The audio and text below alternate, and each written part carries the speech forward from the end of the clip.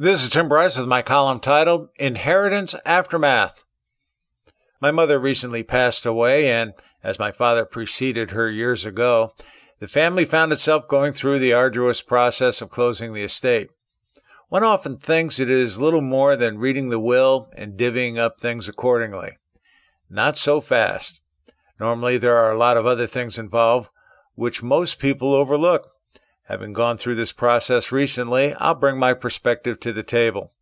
Those of you who have already undergone this will know what I'm talking about and may have a few other wrinkles to add, which you should include in the comments section of this column.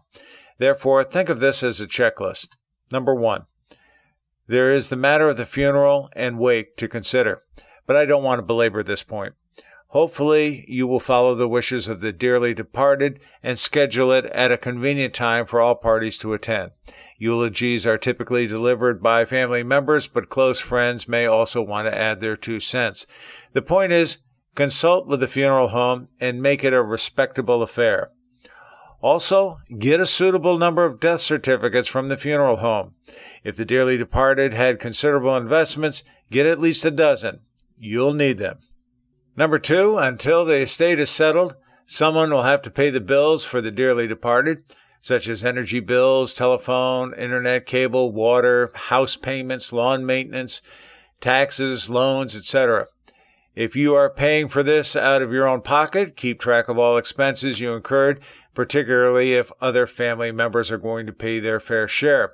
If the dearly departed left money in a checking account for such an emergency, make sure someone in the family is authorized to write checks from the account. So, yes, now is a good time to have your name added to the bank account.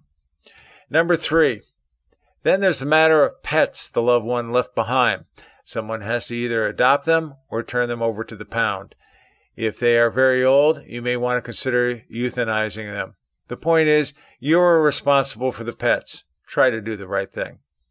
Number four, in all likelihood, the dearly departed will have at least one final income tax filing. Yes, the IRS does not give up easily.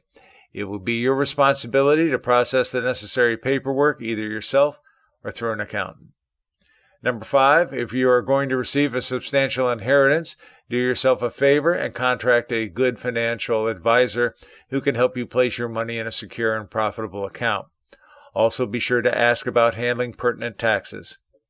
Number six, close the accounts of the dearly departed, including such things as telephone, newspaper, credit cards, cable, bank accounts, as well as eliminating email and social media accounts. Number seven, Cleaning out the residence will perhaps be your biggest headache, as the dearly departed may have collected considerable flotsam and jetsam over the years. Your first pass will likely include valuables such as jewelry and other high ticket items. The second pass will probably include memorabilia such as photographs and other objects of sentimental value, and anything pertinent to the deceased's finances. The third pass will be the hardest, as you may want to keep some things, but now realize you have no room for it at your residence. It's a hard pill to swallow, but it is impossible to keep everything. You can either rent a garbage dumpster to dispose of items, or this brings us to our next subject, number eight. Hire a company to perform an estate sale for you. You can do it yourself, but professionals have this down pat. I've heard of three approaches to this either open up the residence for people to come in and bid on objects, or the estate company comes in, writes you a check, and carts everything off to be auctioned off elsewhere.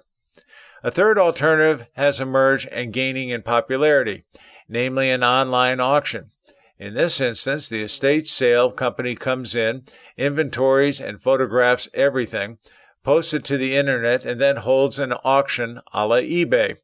One good example of this is CT Bids, which is specifically designed for such auctions. This eliminates foot traffic through the residence, which may not be desirable. If you are going to do this latter approach, I suggest you notify as many people in your area about the auction using email and social media. We tried it and we're happy with the results. Understand this about estate sales. In all likelihood, you will not make a lot of money from it. Your goal should be to have such auctions simply pay for the disposal of the bric-a-brac in the house. If you have major items you want to sell, you will likely be better off doing it yourself if you've got the time and expertise. Number nine, after the residence has been cleared of debris, try to put it in good basic shape to be sold. Clean the house, wash the windows, steam clean the carpets, and make minor repairs. If you cannot do it yourself, hire someone to do so. It's worth it.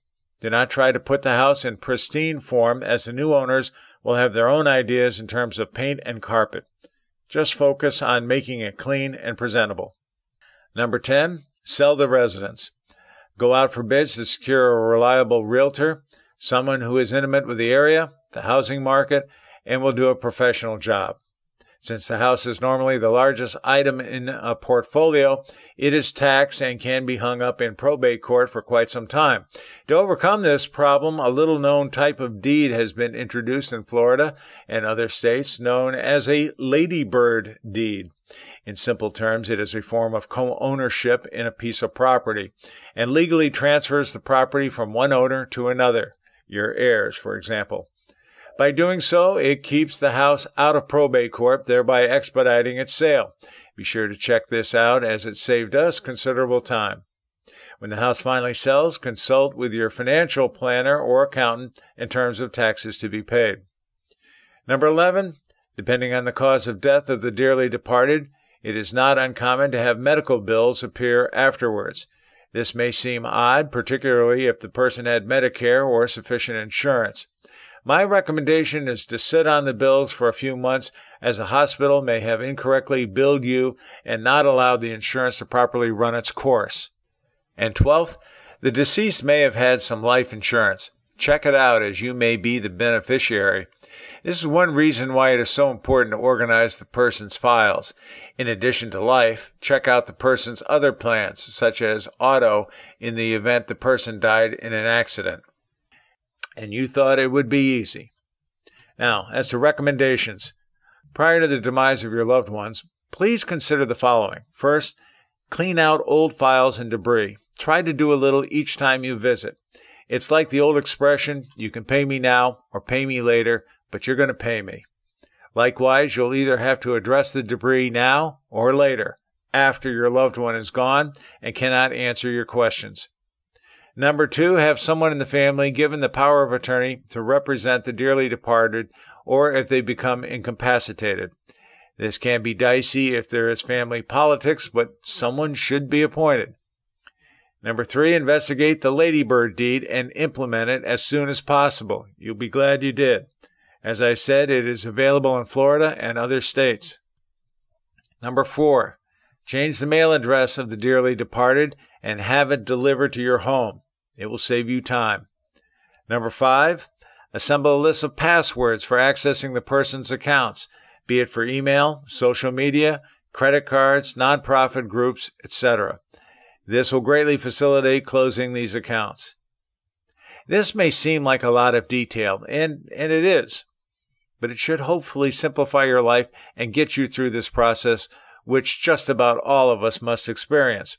Oh, one last suggestion.